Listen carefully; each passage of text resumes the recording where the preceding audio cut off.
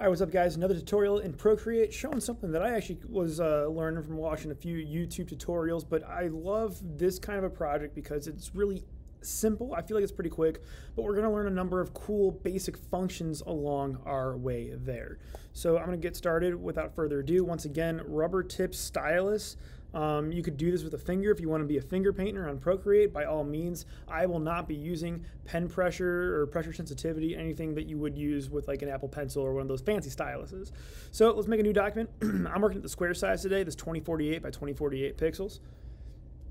And then I'm going to go ahead and get started by just drawing a quick um, circle. Before I get into that, we have our uh, different color uh, systems here are different color schemes that you can create and figure out yourselves. Um, you can create your own color palettes if you click on different palettes. Um, this first one that comes with Procreate is called Ascend and it's set to be the default. You could pick some, you could find some. I'm going to use the Ascend palette because using a limited color system is a pretty good way to start. So um, with brushes, I'm going to go to the inking brushes. No, no, no, wait, wait. My calligraphy brushes. Sorry. I love this monoline brush, just like it sounds, monoline, one line. It's a really simple, elegant line. Now with any brush that we use in Procreate, you're able to tap on the brush and get a whole new um, menu of brush settings. You're able to get a whole new menu of brush settings. The one that I want to change is this one that says Streamline. Streamline is how much the um, app is going to correct the line. So instead of making like a jagged line, it'll streamline or simplify the line. I put that up to max. If I hit done and grab, let's say, like my dark blue over here, um, you'll see what I mean. So I'm going to draw a perfect circle. Watch how I do this. I'm to draw pretty quickly a loose circle, and I'm to press and hold, and it creates an ellipse. But now if I press and hold with my another finger, it creates a perfect circle. I'm to undo that just so I can show you once more. Here, I'm to tilt my camera down, right? So I draw a really quickly loose circle, I don't let go with the stylus. I hold it until it says ellipse created, and then I press down with a second finger, and now it makes it a perfect circle. Hey, I'm gonna go ahead and close that up a little bit. Hey, it's okay if it's a little off. Tell you what, tell you what, tell you what, tell you what. Once more, team. Once more. Let's make a perfect circle. Let's connect it. Hold, hold, and boom. Now we have a perfect circle. Um, you can do that by creating the circle selection tool with the ellipse tool like I had done before in my earlier tutorial, but now I want to fill this. Now the easy way to fill is if I just click and drag my color dot over here, click and drag, oh, nope, I missed. I'm to click and drag and drop. It fills in my shape with any other color. So I'm to go ahead and oh, create a new layer and still with my streamline at max and my monoline brush, I'm gonna, let's go ahead and scale this up real quick. Let's scale this layer up. And then on my second layer, let's create those drips that I uh, showed in the example. To do that, I'm just gonna quickly like drag and draw. It's okay if it's not perfect.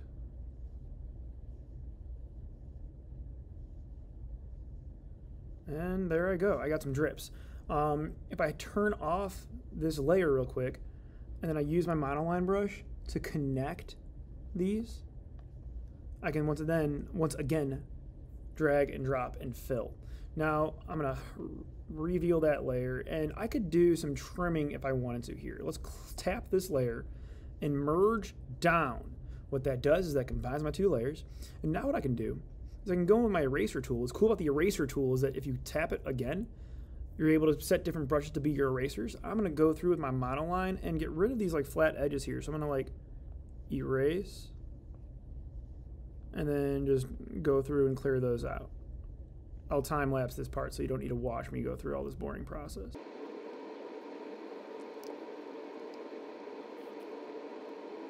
The next thing I want to do is I want to grab my monoline brush again and I'll smooth out like this part where the circle meets the drip and kind of just add in there. So I'm like drawing in from the side. And there I go, zoom out. I've got a nice drip system happening. Now, I'm gonna start doing what is called a clipping mask. And what a clipping mask is, if you're familiar with um, you're familiar with clipping masks from like Photoshop or any other software, is it's going to clip a new layer to only be revealed on the layer beneath it. So check this out.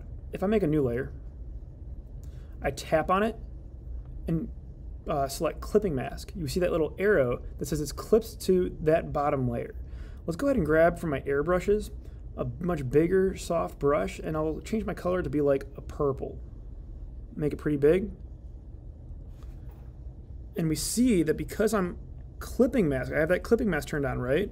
It only brushes in that layer. So I'm gonna go ahead and add like this like little bit of a sky reflection. I think I'll put like a little bit of blue in the middle there. And then if I want to, I can go through and, and smudge that up a little bit. Grab my smudge tool. I'm using like a watercolor smudge just to get some texture in it. Make my brush pretty big. And because I have that uh, clipping mask turned on, I might grab my blue brush a little bit more there and just add a little bit of blue to smudge around. There I go. I love that kind of like effect. Now, if I want to smudge or blur this even more, I'm still on my clipping mask, like my this new kind of gradient layer, right? If I press this magic wand up here in the top right by the selection tools, I have a whole set of effects that are really similar to our effects in Photoshop or any other app. Um, I'm going to use the Gaussian blur. The Gaussian blur, if I blur my layer, I can then click and drag anywhere on the screen and adjust how much it blurs. So there's a crazy blur. Let's say that I wanted to blur mm, 10, 20%. Too much is just like, well, I can't even see the thing anymore, right? And there we go. So now I've got this like faded effect. Uh, once I'm done, I'm going to tap once more and hit apply. Boom. So let's go ahead and draw our mountains in here. What's really cool is if I make a new layer, I'm going to grab my uh, I'm gonna grab like a, let's say a dark color for the foreground and a lighter color for the background layer of mountains. I'm gonna grab a dark purple, select my monoline brush again, and I'm gonna change that monoline brush. I'm gonna drop the streamline again,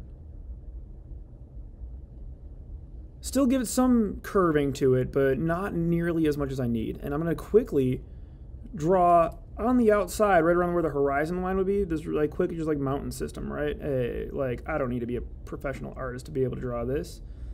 Then if I click, whoop, undo that, go back to my other color.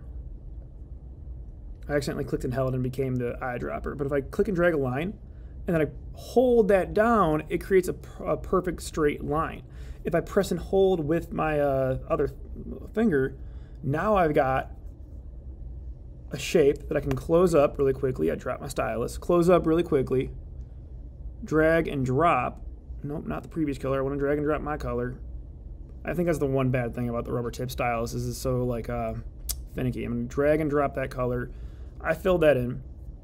And now with that layer, if I click it and clipping mask it, hey, it is only seen on uh, on the main layer. And I, if I wanted to, I could go ahead and like stretch it out a little bit too, change it up a little bit. Let's go ahead and do that again. Let's make another layer. this time I'm gonna put that layer beneath my foreground mountains. Let's use a bit of a lighter color for the background mountains and just have them come up over and there I go. That's really all I need. So let's go ahead and close that shape to the best of my ability.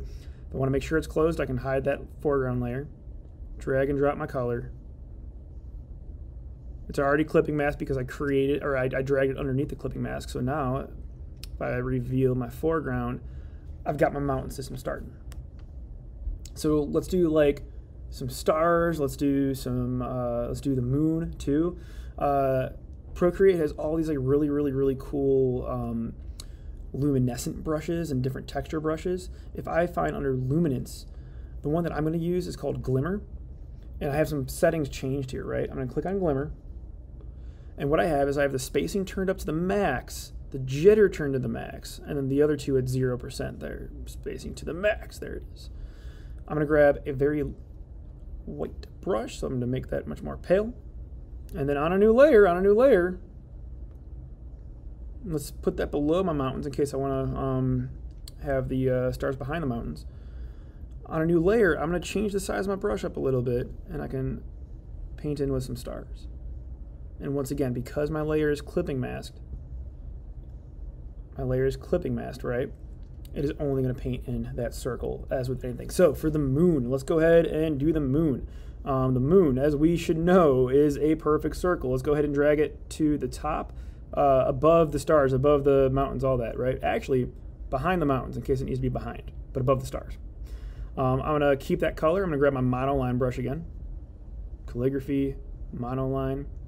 Um, and then I'm going to zoom in to do this job because I'm going to draw another perfect circle. So press and hold so it's an ellipse, and then press and hold with the second finger while I'm holding. Boom. Let's go ahead and fill that in. I got a moon. Real easy, right? Real easy. Um, to create this sort of glowing effect, it's actually a pretty cool way to do this. I'm going to go ahead and I'm going to duplicate this layer. So I tap it and I press, where is it? Oh, you know what? I slide it to the left and there's duplicate. So now I've got two moon layers. If I press my bottom one and I go and Gaussian blur that, slide, there it is. I'm blurring too much is, is, is you know I'm not going to see it. But if I blur it just enough, for me it's right around that like 30% mark, maybe a little bit lower. Now it looks like my moon is glowing. Look at that, pretty cool, right? Click, apply, and we're getting real close here. Uh, let's do some texture on the moon. I'm going to go ahead and press this and alpha lock my layer. What that does is that means I can no longer paint on anything that isn't on that isn't already painted. I'm gonna change my texture a little bit there. I'm sorry, change my color a little bit. I'm about to grab a texture brush. Um, for me, if you go to textures here, I'm gonna use, I, I like this Kurrajong one, but you could probably get away with any of these. If I increase the size a lot, and I just do a little bit, that might be even be too big. Here, let's increase the size a little bit less. And there's a little bit of shading. I can, uh, yeah, that actually looks pretty decent. Cool, so let's do the reflection really quickly. Hopefully I'm not going too long. I guess it's a longer tutorial. um, for the reflection, what I want to do is I want to duplicate any layer that I'm going to reflect. So I'm going to duplicate the mountains. I'm going to duplicate, I'm going to duplicate the other mountains. I'm going to duplicate the moon. I'm going to duplicate the moon's glow. And I'm going to duplicate the stars. So then I'm going to select each one. And to select each duplicate layer, I'm going to swipe to the right, swipe to the right, swipe to the right, swipe to the right, and swipe to the right. Now I can click and drag each of these layers. Let's move them up to the very tip top of the, my layer stack. And then if I pinch them together, I'm going to pinch them like this. Now they're all merged. So here's what I can do. I have this duplicate merge. If I press my uh, arrow here, I can flip vertical and now I can drag them down until it's just touching right around there, right around there. Press my arrow again and that looks pretty good. Honestly, all I really need to do after this is go to my layers, click the N here, drop the opacity, let's say down to like 45% or so there. Boom. And that's really it. You know, after that, I can just change the background color maybe really quickly. Um, one of these colors will probably be pretty nice for it, something like that. Maybe a little pale. There it is. There it is. There's a really cool, simple night scene. I didn't know a ton of painting tricks or techniques to do that. I kept a, uh, a consistent color scheme. I just used a few different uh, tools and tricks to make sure all of my drawing was consolidated, and there it is. So, basics of Procreate, part two. I don't know. This is the second video I made of Procreate. Thank you for watching.